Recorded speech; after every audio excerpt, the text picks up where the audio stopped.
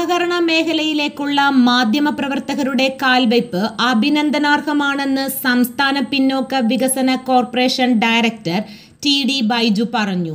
പത്തനംതിട്ട ജില്ലയിൽ പ്രവർത്തനം ആരംഭിച്ച ജില്ലാ മാധ്യമ പ്രവർത്തക ക്ഷേമ സഹകരണ സംഘത്തിന്റെ ഉദ്ഘാടനത്തിനായുള്ള സ്വാഗത സംഘ രൂപീകരണ യോഗം ഉദ്ഘാടനം ചെയ്ത് സംസാരിക്കുകയായിരുന്നു അദ്ദേഹം.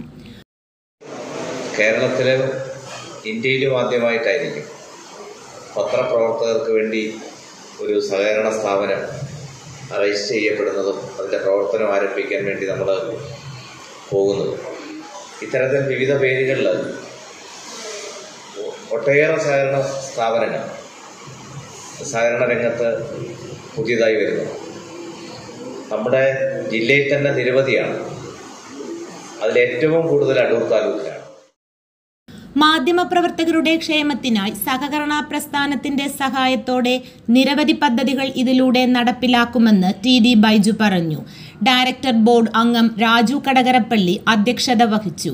സഹകരണ യൂണിറ്റ് ഇൻസ്പെക്ടർ മിനി കുമാരി മുൻ deputy registrar Rajeev Kumar director board അംഗങ്ങളായ Babu Thomas Sanal Adoor Manoj Pulivelil Shaji Thomas K J U സംസ്ഥാന general secretary K C Smijan സ്വാഗത സംഘം ഭാരവാഹികളായ സുഭാഷ് കുമാർ ഇ എസ് ശ്രീകുമാർ വിനോദ് മുളമ്പുഴ എന്നിവർ പ്രസംഗിച്ചു.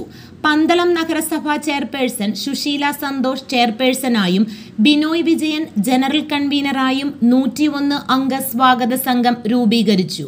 ജൂൺ പത്തിന് പന്തളത്ത് സഹകരണ രജിസ്ട്രേഷൻ വകുപ്പ് മന്ത്രി വി എൻ വാസവൻ സഹകരണ സംഘത്തിന്റെ ഉദ്ഘാടനം നിർവഹിക്കും. News desk Adoor news dot com. thank you